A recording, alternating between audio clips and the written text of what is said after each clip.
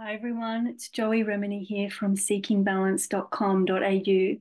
Today I want to talk a little more on neurodiversity and I want to introduce a new concept, a new term which I learned recently from Lindsey Mackereth at Creative Method Creative. And the term is neurocomplexity. And when I first heard this term, to be a neurocomplex person, to live with neurocomplexity, something in my bones just had an, a moment of pause and exhale like, yeah, this is something we have to talk about. Being neurodiverse is talking about how each person is wired beautifully differently. So we all have our neural maps and neural connections mapped throughout our body, making sense of the world in our own unique way.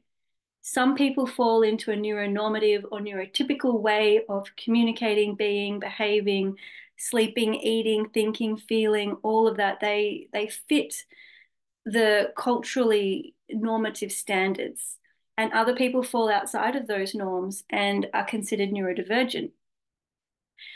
When we bring in neurocomplexity, we're also talking about how we can have different amounts of depth, intensity, complexity with how our nerves, neurons are firing and wiring physically, mentally, emotionally, spiritually. So looking at the cognitive parts of our mind and how thoughts can we can have more thoughts. We can have deep intense and complex thoughts and that in and of itself brings a whole range of challenges and strengths that we need to learn about if we want to understand how to get the best out of our the brain and body that we're born with. So there's the cognitive side of it there's the sensory side of it of how our sensory um, neurons are mapped and wired, you know, so we can all be sitting down and looking at exactly the same landscape. But someone who may be living in a neurocomplex body will literally be buzzing and thrumming and just feeling and hearing and sensing so much from the sensory world. And again, when we fall outside of these neuronorm or neurotypical categories or baskets, we can end up just feeling like we're not experiencing the world in the right way because the way we're experiencing a sunset is so deep and intense and moving.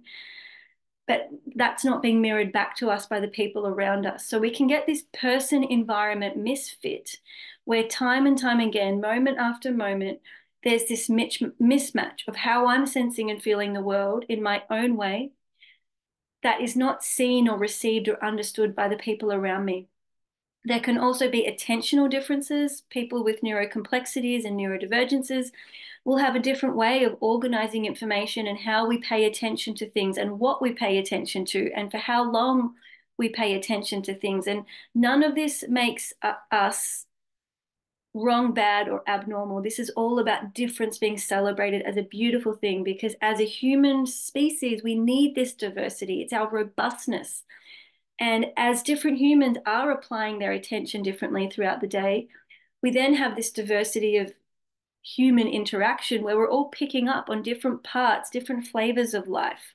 And as we gather all that data from the world around us and digest it in our own beautifully different ways, we can have that output that then gets shared back out into the ecosystem. So we have diversity if and when it's understood and celebrated, everybody benefits.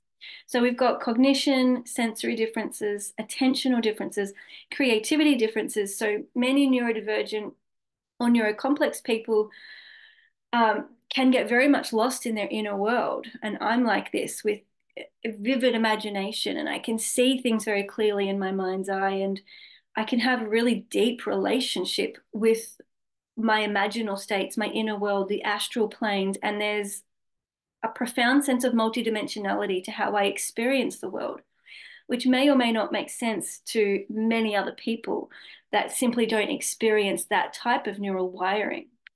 And then the last one that Lindsey talks about is intuition, which is how we make sense of the data we're collecting. So, as a neurodivergent or neurocomplex person, it's arguably we're taking in a lot of data in the world ideas, conversation, senses, smells, touch, everything judgment, assumptions, politics, culture, multi generational information. We're taking in all of the unseen stuff that is not obvious. Our body's actually processing that.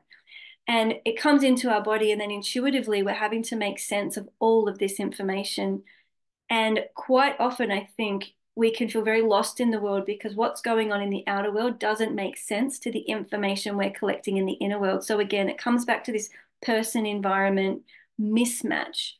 So, as a neurodivergent or neurocomplex being, it can feel that our needs are not met, that we're not seen, we're not heard. We can lack a sense of safety, attunement, belonging, friendships, community, family. So it can really arrive at this place of a lot of shame, a lot of tendencies to mask, to camouflage ourselves, to compensate for our differences, to fawn, to fight, flight, freeze, fawn, to get stuck in really subtle, insidious, and complex trauma loops and really, all we're trying to do is to make sense of ourselves and make sense of the world.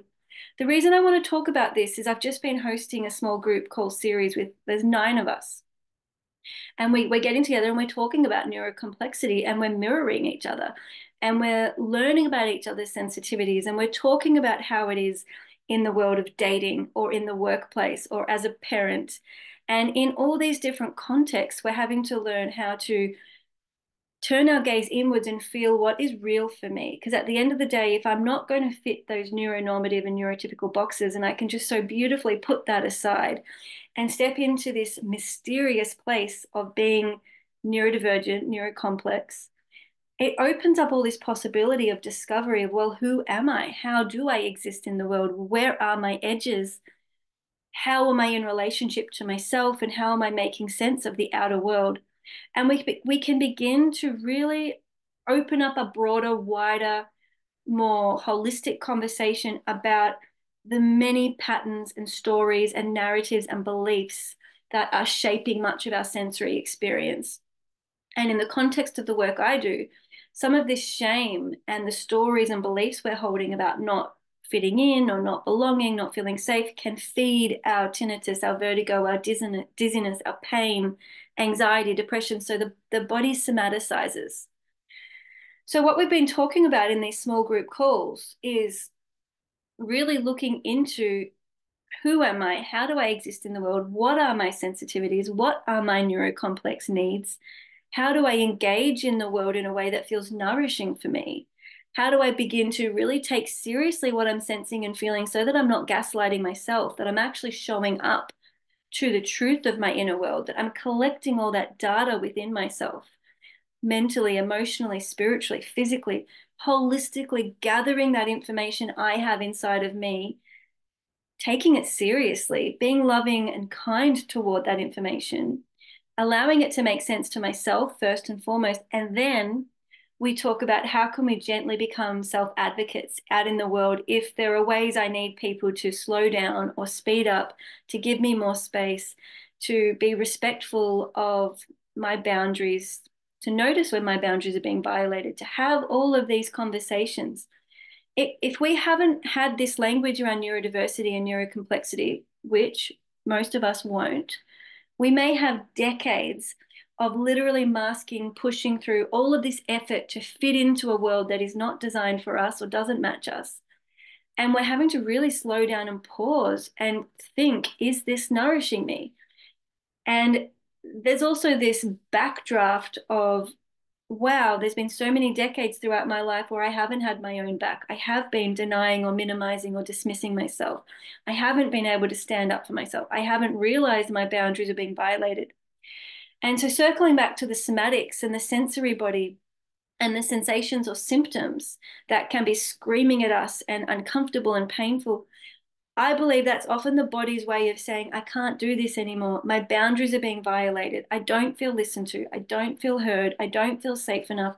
Please turn your direction inwards and reconnect. So, the body, in my opinion, is really the map and the compass that's guiding us through all of this neurocomplexity as we can really keep directing ourselves back into the body, sensing and feeling, cultivating safety, learning about our window of tolerance and how to really gently expand and broaden our sense of being able to feel the intensity and the depth without shutting ourselves down and being afraid of feeling, which is a really, really common protected defense strategy.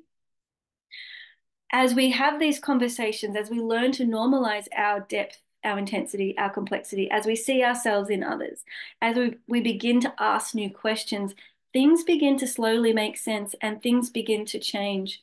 So, some of the things we're talking about together in our small group call series is, you know, just um, getting to know our boundaries, getting to know our center, learning how the data, this invisible, unseen data, is entering us all day long but is it leaving us? So we're looking, we're really talking a lot about emptying the data, data in, data out, and not being afraid of, of allowing the world to touch us and enter us. So we can also have such strong boundaries that we actually shut the world out.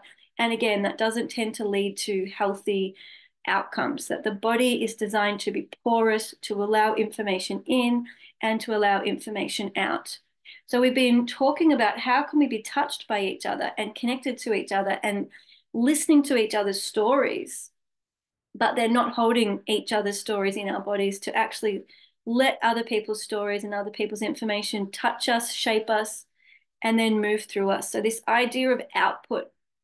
And eventually, we want to be in a position where we have the freedom and the unapologetic sass to get creative with how we live our life and how we begin to move our neurocomplex ideas and dreams creatively outside of us. And I believe that's where we're headed culturally is that we need more spaces where neurodivergence, neurodiversity, neurocomplexity is welcome, is celebrated, is explored deeply and sensitively and gently so that we can build up our confidence to understand who we are, how we're meaningfully engaged in the world, how we fully respect our inner world and show up for ourselves, and then how we can have this beautiful creative expression outwards that allows our difference to pollinate out into the world. Because I believe the outer world needs outliers. We need people with a different way of being in the world, a different way of feeling the world, a different way of seeing the world. And it's important that we have that courage and that capacity to go through the disintegrative process of losing who we thought we were, falling into a million trillion different tiny fragments and pieces, and that slowly rebuilding ourselves back into a version of ourselves that makes sense, that feels authentic, that has integrity, and learning how to really reclaim our space, honor our boundaries, and live in that dynamic capacity, which is probably worth mentioning as a neurodivergent or neurocomplex being. We are even more, I think, receptive to the fact that life is a dynamic, moving beast. Inside of ourselves and outside of us is constant change. Everything is granular, everything is tiny little particles vibrating around at different frequencies. And we're in this washing machine of constant fluctuation. So, how can we learn to be present and responsive to our direct experience so we can most accurately and powerfully support wherever our brain, body, soul is intersecting in that moment. So these are some of the really important conversations of shifting us out of the mainstream medical model and questioning why do I have these chronic symptoms and sensations that nobody can explain and nobody understands. I think it's very powerful to stop and think, am I possibly neurodivergent? Am I possibly gifted? Am I possibly neurocomplex? And the best way to explore this for yourself, I think, is to read books, listen to podcasts, connect to other neurodivergent and neurocomplex beings, and see if you see yourself in them and really get that sense of sovereignty, self authority, self permission to be in this identity journey, self identity, self determined identity, in a way that you're the expert in you, you know you. So I wanted to introduce this beautiful topic because I think it's deeply life changing. It's really helped me explore more about myself and my difference. And it's helped me uncover many of the subconscious or semi conscious parts of myself that I had never really put a lot of time into exploring because I had never seen them in, seen those parts of myself in other people. So once I started to find my neurokin and my mirrors, I could come to life a little bit more. I could explore more of my intensity and depth. I could take it more seriously. I could feel how real it was. So it's a really important part of our individuation, of our self realization, of being an adult, of being human. And it's also an essential part of allowing our body to stop somaticizing, being caught in symptom and sensation loops. And as we start to understand ourselves, support ourselves, advocate for ourselves, and get that creative output, the body is no longer holding on to so many tension patterns. So there really does become a softening and a centering of the physical body once we line up the physical, mental, emotional, spiritual aspects of our neurocomplexity. So it's a really rich topic.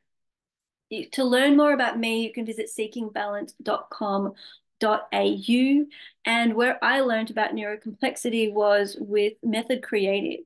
So I'll put a link down for Method Creative as well, where Lindsey Mackereth has some resources and services as well for you to check out. So it's a little bye for now.